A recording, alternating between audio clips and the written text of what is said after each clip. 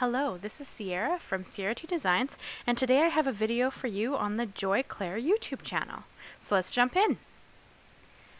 You can see there that I already have the uh, cupcakes from the Joy Clair Sweet Halloween digital stamp set cutout. I actually recently figured out that I could use my Cricut to cut digital stamps, so I've been just having so much fun with that, and I do hope to have a video up on my channel pretty quickly here about how I've done this, but so that's how I have them already cut out.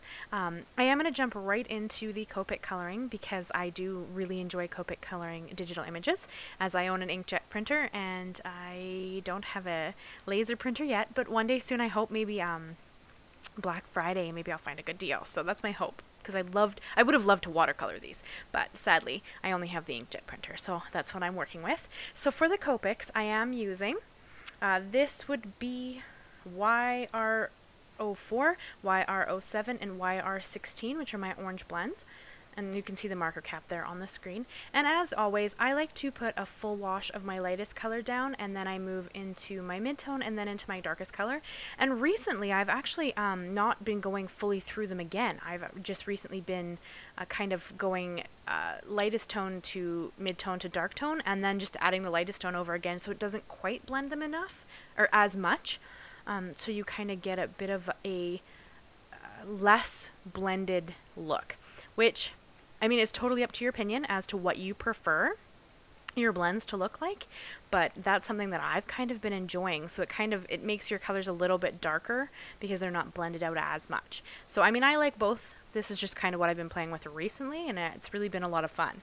So here I have V12 V15 and V17 and as these are Halloween themed images I do love how orange and purple go together. So that's kind of what I was thinking there with that. You could absolutely color these any color uh, just I like orange and purple, so that's what I went with. And then here I have the little ghost on the top. He's going to be N1 and N3, which are neutral grays. And I only went with a two color blend here because he's meant to be white. So I'm just trying to kind of add shadowing to the folds of his, I, I guess it'd be like a sheet.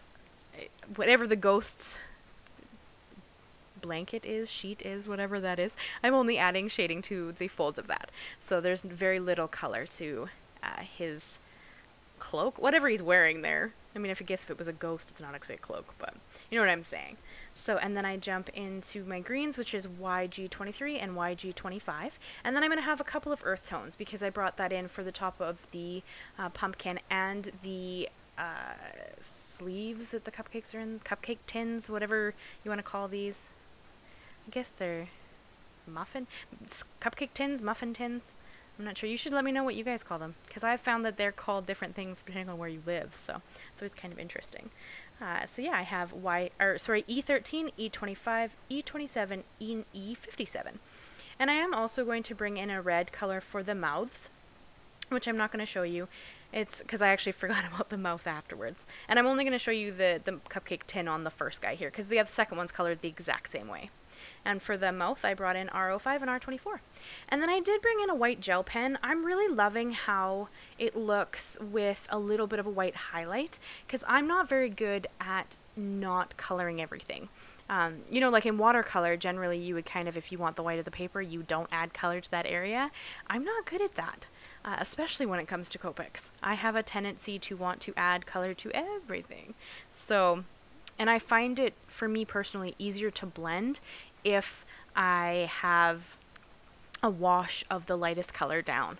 So that's just kind of the way I like to do it. By all means, do what works for you. Whatever works for you is awesome.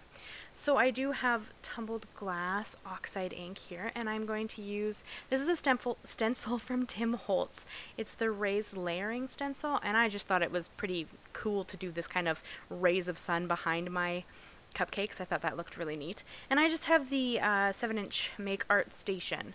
I've been loving this to hold my stencils. You could of course use pixie spray or um, like a repositionable adhesive. This has just kind of been a neat way to hold it down that I don't have to go and add glue or add something to the back, wait for it to dry, and then start using it, and then worry about the possibility of residue being on my ATC or my card when I'm finished. Um, I have had that problem in the past, so I've kind of been trying this out as something different, and I just have a blending brush here. Any blending brush will do. I think that one is from Amazon, to be honest with you, because I just, I kind of try to find awesome deals where I can. And then I'm just going to use some foam adhesive to stick this up. Now I use everything. Um, I kind of, I don't like to waste anything. I don't like to throw anything out. So I'm actually using the uh, pieces that go around little foam hexagon things there so that I can put that on the back and just keep using what I have. That's just kind of how I roll. I'm kind of don't like to purchase things if I don't have to. Um, although I am kind of looking for some more new, some new foam squares.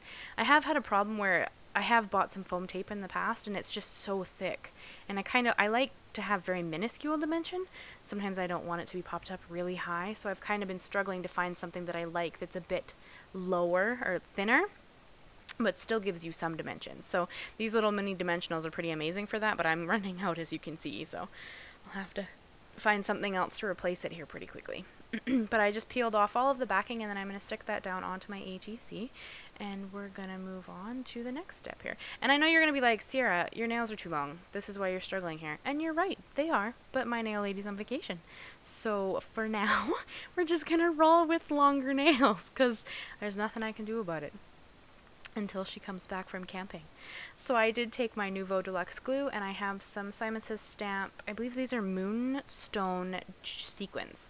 They're one of my favorite clear sequins. Any clear sequin would do, any gem would do. You don't even have to add these.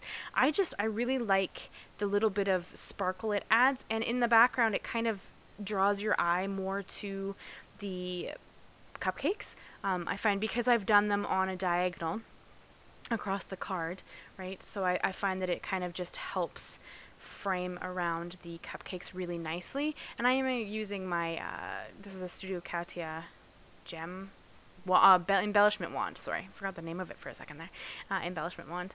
And yeah, so then we're going to move on because I just couldn't resist a little more sparkle. So I just have my clear Wink of Stella uh, brush pen here. And okay, so with this, I should have added my white highlights after I put the glitter on and had dried.